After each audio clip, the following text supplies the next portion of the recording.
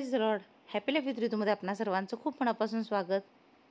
तर काल मी तुम्हाला मॉर्निंग रुटीन कालचं दाखवलेलं आणि आजच्या भागामध्ये सांगितलेलं की घावणे बनवणार आहे. तर हे बघा रात्री तांदूळ भिजत घातले होते. तर तीन ते चार पाण्याने स्वच्छ धुवून तांदूळ भिजत घातले होते आणि आता तांदूळ बारीक करून घेते. तर सकाळी सकाळी झोप अजिबात पूर्ण होत नाही आणि चेहऱ्यावर कशी झोप दाटून आले बघू शकताय तुम्ही. पण आता सगळेच आहेत सगळे असो नसो काम तरी करावंच लागतं. तर बऱ्याच महिन्यानंतर मी घावणे बनवले कारण आई पप्पा आणि ताई आलेत म्हणून. तर आज असं ठरवलं की खास मालवणी माणसांसाठी मालवणी नाश्ता बनवूयात. कारण पोहे उपमा रोजच होतं.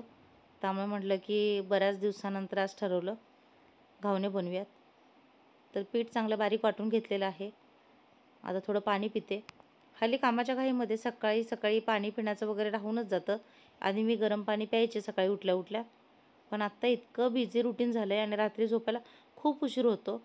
त्यामुळे सगळं मॅनेज करता करता नाकी नव येते. तर पाणी पिऊन झालेलं आहे. ओटा आवरते. थोडी भांडी इकडे तिकडे झाले ती ठेवते. तर मी अशी भांडी पसरून ठेवत नाही ओटावर पण ताईंना किंवा आईंना ती भांडी माझ्यासारखी रचून ठेवता येत नाहीत किंवा ट्रॉलीमध्ये कुठली भांडी कुठे ठेवायची हे देखील त्यांना माहिती नाही आहे तर असो माझ्यासाठी ते मदत करतात हेच माझ्यासाठी खूप मोठं आहे. तर आधी भांडी वगैरे व्यवस्थित ठेवून घेते. तर हे बघा डिशवॉश लिक्विड संपलेलं. ते पुन्हा थोडं भरून घेते. तर लागेल तितकंच मी लिक्विड ठेवते. कारण कधी कधी आहे म्हटल्यावर जास्त अंदाज येत नाही आणि लिक्विड खराब होतं मग. किंवा जास्त त्याचा वापर होतो. पाणी पिऊन झालेलं आहे. आणि आता बाकीची तयारी होते तोपर्यंत प्रेयर करून घेते. सकाळी सकाळी सुरुवात थोडं आध्यात्मिकरित्या करायची. तर कितीही घाई असू दे हे काही गोष्टी आहेत त्या माझ्या ठरलेल्या आहेत. तर घरातल्या आवरायचं फ्रेश वगैरे झाल्यानंतर आधी प्रार्थना करते बायबल वाचते. तर दिवसभराची धावपळ रखरख धगधग या सगळ्यामध्ये तरीही मी इतकी शांत किंवा इतकी म्हणजे पॉझिटिव्ह कशी असते तर हे खरं तर याचं कारण आहे. कुठेतरी आपण प्रार्थना करतो कुठेतरी अध्यात्मामध्ये वाढतो त्यावेळेस आपल्या मनारा मनावरही तसाच परिणाम होतो. तर किती उशीर असू देत सकाळी थोडा वेळ प्रार्थनेसाठी देते. प्रार्थना झालेली आहे बायबल वाचलेलं आहे. आणि खूप काही शिकायला भेटतं अनुभवायला भेटतं. दिवसभराची एक प्रकारची एनर्जी येते असं म्हटलं तरी हरकत नाही. झाडू मारून घेते पटकन. बिछाना वगैरे काढलेला आहे. तर हल्ली उन्हाळ्यामध्ये आम्ही बेडरूममध्ये न झोपता हॉलमध्येच झोपतो. तर सगळेजण एकत्र छान असं बिछाना घालून मज्जा वाटते मग. आणि पाहुणे किंवा कोण घरात आलं तर मग ठरलेलंच आहे हॉलमध्ये झोपायचं. कारण बेडवर सगळ्यांना झोपण्यासाठी जागा होत नाही आणि गरमही फार होतं. तर हे बघा. घावणे बनवण्याच्या नातात दोन तवे तरी खराब झालेले आहेत. कारण जसं मी सांगितलं की बरेच महिने घावणे बनवलेले नाही आहेत आणि घावण्यासाठी जे भिडं आणलेलं आहे ते जवळपास दोन वर्ष झालं तर अजून मी तयारच करते. तर भिडं भिडं वापरण्याजोगं बनवण्यासाठी ते तयार करावं लागतं. एक प्रोसेस असते ती करावी लागते. व मी कितीही ठरवलं तरी ते होतच नाही आहे तर बघूया लवकरच ते भिडं देखील तयार करेन. आणि नॉनस्टिक पॅनमध्ये देखील घावणे बनवता येतात. तेलाचा अतिशय कमी वापर करायचा असं थोडंसं तेल लावायचं आणि घावणे छान पसरायचे. त्याच्या मध्ये मध्ये पसरायचे नाही नाहीतरी व्यवस्थित होत नाही. छान जाळीदार आणि पातळ असे घावणे पाहिजे असतील तर ते व्यवस्थित पसरायचे. इकडे घावणा म्हणतो तोपर्यंत मी मधल्या कुकरमध्ये डाळ शिजवून घेतलेली आहे. कारण एकाच वेळेस मला जेवण आणि नाश्ता दोघी दोघांची देखील तयारी करायची आहे दोन्ही तयार करायचं आहे. तर हे बघा किती छान मस्त जाळीदार आणि मलुसलुशीत असं तांदळाचे घावण तयार झालेले आहेत. आणि घावण करण्यासाठी एकतर रेशनचा तांदूळ किंवा गावठी तांदूळ वापरायचा. आपला बासमती वगैरे वापरायचा नाही त्यामुळे चिकट होतात घावणे खूप. आणि दोन्ही साईडने वगैरे भाजून घेण्याची गरज नसते किंवा दोन्ही साईडने घावणा कधीच भाजायचा नाही. बरेच लोक दोन्ही साईडने भाजतात पण शक्यतो एका साईडनेच घावणा भाजला जातो. तरी बघा घावणाचं पीठ घ्यायचं. आणि अतिशय पातळ ग पीठ करावं लागतं. तर घावणे करायचं एक टेन्शन नाही आहे की डाळ तांदूळ मोजून घ्या मग ते फर्मेंट करा असं अजिबात नाही आहे तर रात्री भिजवायला ठेवलेलं पाणी घालायचं मीठ घालायचं आणि पातळ एकदम बॅटर करायचं. अजिबात घट्ट पातळ करायचं घट्ट बॅटर करायचं नाही. तरी बघा खोबरं खिसण्याची माझी पद्धत बघा. खोबरे खिसलं जातं आणि पोटाचा व्यायामही होतं. मस्करी करते मी. तर बसून खोबरं किसायला वेळ नसेल तर ही एक आयडिया आहे. तर आडाळा म्हणजेच विळी जी आहे ती चांगली ओट्याला फिक्स करायची आणि आपला पोटाचं थोडंसं प्रेशर द्यायचं म्हणजे विळी हलत नाही. तिकडे घावना देखील बनतोय. डाळ ही शिजलेली आहे. तिकडे चहा बनवायला ठेवली. तर सासऱ्यांना शुगर असल्यामुळे शुगर फ्री चहा बनवावी लागते. त्यामुळे मी साखर न घालता आधी शुगर बनवलेली चहा बनवलेली आहे. आणि त्यांना थोडी बाजूला काढून मग बाकीच्या चहामध्ये साखर घालणार. तर लागलीच घावण्यांसाठी चटणी बनवते. तर मगाशी जे शेंगदाणे भाजून घेतले होते खिचडीसाठी त्यातले थोडे शेंगदाणे दोन पाकळ्या लसूण हिरवी मिरची फुटानाडा शेंगदाणे आणि ओलं खोबरं.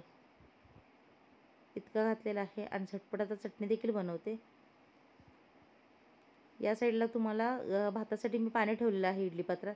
तर ही इडलीसाठी कमी आणि भातासाठीच या भांड्याचा जास्त वापर होतो आहे यापूर्वी तुम्ही बऱ्याच वेळेस बघितलं असेल. तर ज्यावेळेस घरी सगळेजण असतात तर जबाबदारी तरी वाढतात. पण नवीन नवीन रेसिपीज करायला वगैरे इंटरेस्ट येतो. कारण खाणारे जर इंटरेस्टेड असतील तर बनवणाऱ्याला देखील आनंद होतो. आणि माझा असा आहे की मला स्वयंपाक बनवायला वेगवेगळ्या रेसिपीज बनवायला खूप आवडतात. पण ते खायला कोणीतरी पाहिजे. ते बघा चहा झालेली आहे. चहामध्ये आता दूध घालायचं आहे इकडे पाणी ठेवले भातासाठी. दुपारी यायला उशीर होतो आणि एकटी असताना गोष्ट वेगळी असते. आता आई पप्पा ताई वगैरे पण आहेत. तर सकाळी जेवण करून गेलं तर दुपारी टेन्शन नाही. आणि ते मला विचारत असतात तू जा काय काळजी करू नकोस आमचं मी बनवतो वगैरे. पण असो चार दिवस इकडे आले तर आरामात ते राहतील आनंदाने राहतील. आणि जास्त धगधग नको. म्हणून मी शक्यतो नाही लावत कामाला. आणि चटणी वाटताना त्यामध्येच मीठ घालायचं. म्हणजे चवीला चटणी छान बनते. तर नुसत्या खोबऱ्याची चटणी देखील बनवता येते. पण जर शेंगदाणे आणि फुटाणाडा घातली भाजकी तर चव छान येते. चहामध्ये दूध ओतलेलं आहे. इकडे मी चटणी वाटेन तोपर्यंत. चहा देखील चांगलं चांगली गरम होईल. तर बघा एका वेळेस सगळी कामं सुरू असतात. तर सुट्टी घेणं हा पर्यायच नसतो किंवा सुट्टी मला घेताच येत नाही. सध्या व्हायरल इन्फेक्शन्स वगैरे असल्यामुळे पेशंट देखील भरपूर आहेत. आणि माझ्या घरातले म्हणजे माझे सासरचे असू देत माहेरचे असू देत मला खूप समजून घेतात. माहेरच्यांचा तर काही विषयच नाही आहे पण सासरच्या बाबतीत देखील खरंच मला समजून घेणारे भेटलेत. तर आपण कितपत कोणाला जीव लावतो आपली वागणूक कशी आहे त्यावर पुढच्याची वागणूक देखील अवलंबून असते.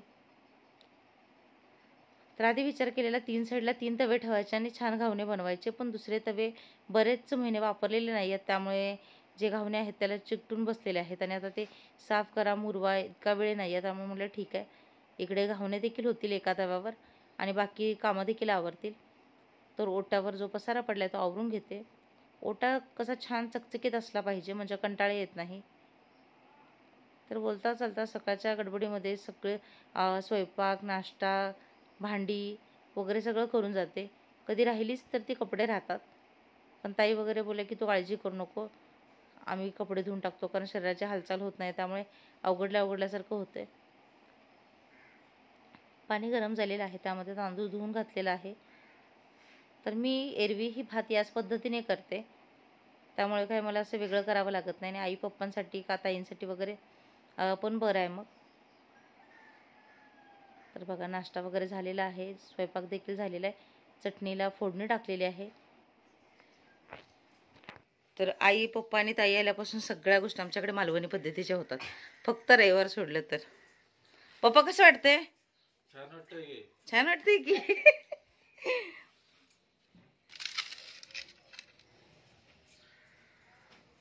तर जाणून घेऊयात आमच्या पप्पांच्या प्रतिक्रिया. पप्पा आई का हसताय तुम्ही? एकेकाच्या प्रतिक्रिया घेणार आहे मी. कसं झालीत पप्पा गावणे आणि चटणी? जरा जाड झाले चटणी जरा पातळ झाली की हो नीट सांगा की पप्पा. चहा चांगला आहे. चटणी झाली बरी? बरी झाली. अहो कसं झालं? हो? झाली आई? तर पप्पा आमचे कॉमेडी करतात. हो माहिती आहे तर दोन्ही पप्पा कॉमेडीच आहेत त्यामुळे काही विषयच नाही. घडामोड कालची घडामोड आज बघा. हा, आणि आशू आशू करून खाल्ला आवाज देत आले आशू गेलं की बाई स्कूलला. ते आश्वासाचं नाव घेऊन ओरडत यायचे. ते पाणी त्यांचं मग मोटर लावली. देता बघा मम्मीला सवय झालं. खूप खूपच छान झाले खायच्या आधीच होय मम्मी. पप्पा उगाच काहीतरी मस्करी करतो तू त्यांच्यावरच काहीतरी करते चुकीच तरी आज पप्पा नाही आहेत नाहीतर पप्पांनी वेगळंच काहीतरी सांगितलं असतं. तर पप्पा गेलेले आहेत कामानिमित्त बाहेर त्यामुळे पप्पा आता दोन चार दिवस येणार नाही आहेत छान झाले पण तिखट झणझणीत झाले हा, मग झणझणीतच पाहिजे. तिखटच पाहिजे. तिथे नाक कामिनीच्या नाकातनं पाणी टाकून पाणी आलं. एवढे झणझणीत झाले. जरा झणझणीतच पाहिजे की मिळमिळीत काय खायचं. कोल्हापूरची माणसं झणझणीत म्हणल्यावर चटणी झणझणीतच पाहिजे. बरं लागते ना झणझणीतच? होय होय आशा आहे आजचा ब्लॉग तुम्हाला आवडला असेल. तर सासरची मंडळी आल्यानंतर काही असं असं माझं रुटीन असतं. तर आजची रेसिपी आजचा ब्लॉग तुम्हाला आवडला असेल चॅनलवर नवीन असाल तर सबस्क्राईब करा लाईक करा शेअर करा. जी काही बेलायकन दिसते म्हणजेच घंटी दाबायला अजिबात विसरू नका. मी माझ्या परीने होईल तितके व्हिडिओज करण्याचा प्रयत्न करते. तुमच्या सहकार्याची खरंच खूप गरज आहे. त्यामुळे stay connected stay healthy stay happy God bless you all भेटूया नव्या व्हिडिओसह तोपर्यंत. स्वस्त राहा मस्त खा. माझे व्हिडिओ बघत राहा.